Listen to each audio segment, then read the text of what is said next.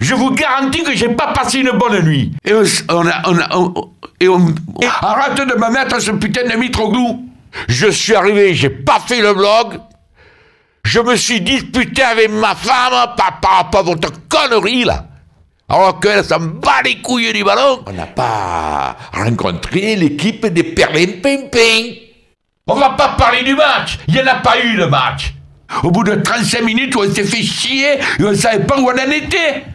Et on, a, on a, elle me fait crever, hein. Mercato de merde. Combinaison de merde. Joueur de merde. Après le mercato jeudi, il n'est pas complet. Tout le monde m'a dit non, il faut garder la solidarité l'année passée. La solidarité, mon vieux. Voilà. C'est que Degel les a demandés ailleurs.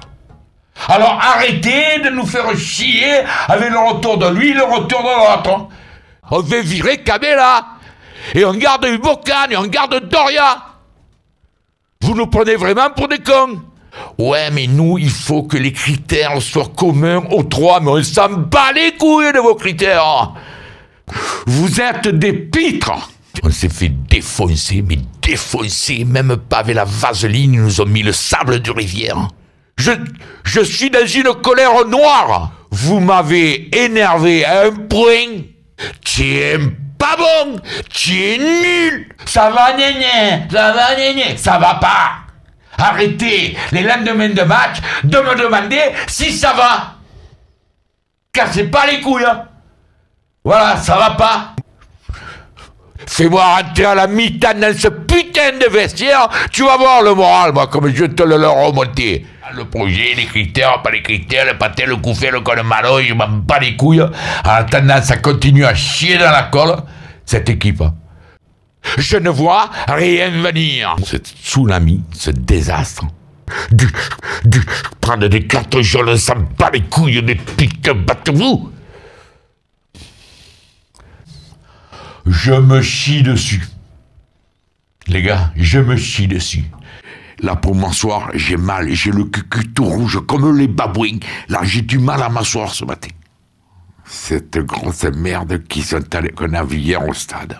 Et bougez-vous le cul Comme j'étais pas trop content, je me suis disputé avec ma femme parce que je faisais la gueule, qu'elle s'en bat les couilles, elle, de l'OM. Pour me changer les idées, j'ai regardé Zorro, j'ai regardé Zorro. Et, et- et je m'en bats les couilles de ce que les gens y pensent. J'ai pas dormi de la nuit. Et on, on a, on on- on, on les couilles. hein. C'est honteux. Ils vont me faire crever, ces cons. Ça me met les galops. Ce que j'ai vu hier, impardonnable. C'est inadmissible.